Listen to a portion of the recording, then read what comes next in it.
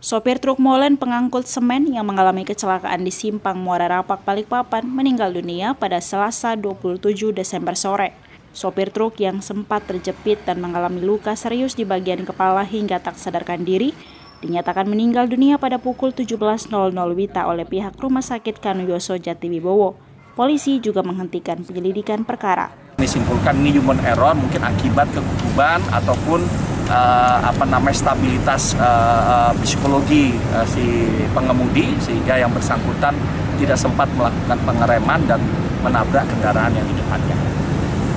Pengemudi uh, kendaraan mobil molen tersebut dibawa ke rumah sakit dan meninggal dunia pada pukul 17.00 di rumah sakit itu ya, ya rumah sakit dunia dan karena ini uh, kasusnya adalah kasus uh, kecelakaan dan si pengemudi ini meninggal dunia, tentunya nanti proses penyelidikan uh, penyidikan akan kita lakukan. Tapi kalau meninggal dunia mungkin korban tersangka juga sebagai korban meninggal dunia maka kasusnya akan kita tegakkan.